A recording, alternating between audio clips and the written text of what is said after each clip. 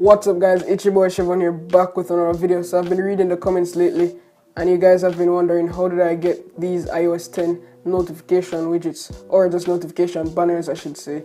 And it's pretty simple. All you need is one Cydia tweak. You don't need a external source or anything. It's right from the Big Boss repo and this tweak is simply called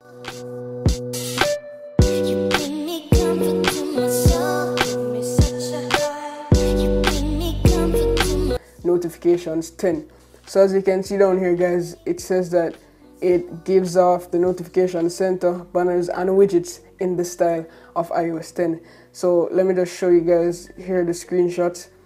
So let me show you the widgets. Here the widgets same style as iOS 10 and it's also functional as well. It's not just there for gimmicks.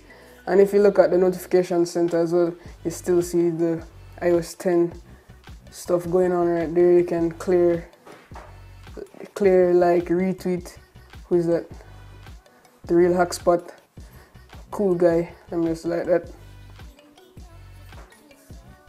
Mm, doesn't seem like it's working. You see here, we're just looking at the functionality of this right now. Um, everything works nice. I, I was just hoping I got a notification so I could show you guys how it looks on notification. Okay, so I just got a notification that I was hoping for, and this is how it looks when you receive a notification.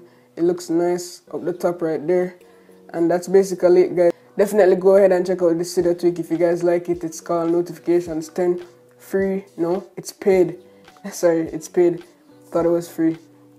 But yes, guys, if you see anything else that you like from my device in this video, just let me know down below in the comments. I don't really have anything new. Hope you guys like the control center video I, I dropped. So go ahead and watch this video guys. And don't forget to like and subscribe. And always love peace and tweaks signing out